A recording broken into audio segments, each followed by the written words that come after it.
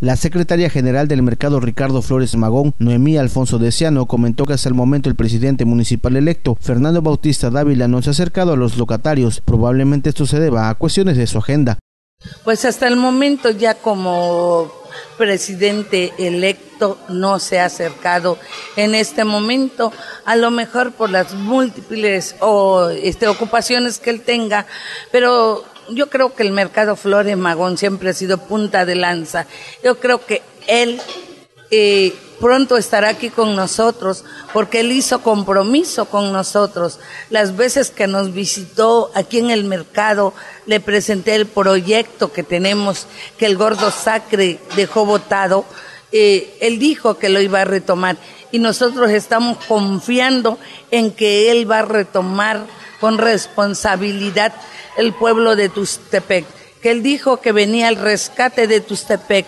Pues los tustepecanos estamos esperando ese rescate y que venga a rescatar el proyecto del mercado Ricardo Flores Magón. Vale la pena comentar que el presidente electo ha tenido una serie de reuniones con diversos sectores de la población, entre los que se encuentran los locatarios del mercado central, campesinos y productores rurales, y este miércoles tuvo una reunión con el Sindicato Único Democrático. En la reunión con los locatarios del mercado central, Fernando Bautista Dávila se comprometió a retomar y dar seguimiento al proyecto de la edificación del nuevo inmueble, pues el actual tiene afectaciones en su estructura. En ese sentido, Noemí Alfonso Deciano comentó que el proyecto para el mercado Ricardo Flores Magón consiste en su rehabilitación, el proyecto que yo le presenté es del mantenimiento del área grande que tenemos allá, donde los drenajes, el agua y muchos factores ya son obsoletos porque son de 38 años.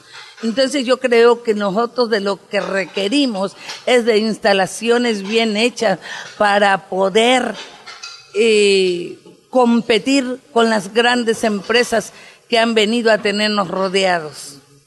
Pues yo creo que también queremos un mercado nuevo, pero vamos a basarnos a las normativas de, de prológica y vamos a basarnos a la intención o a la buena intención que tenga el presidente municipal de rescatar los mercados Flores Magón, el mercado central, el avante que sería tan hermoso que ese mercado también se, se rescatara, porque al rescatar los mercados estás rescatando la cultura de Tustepec. Con edición de Eric García informó Jorge Acevedo.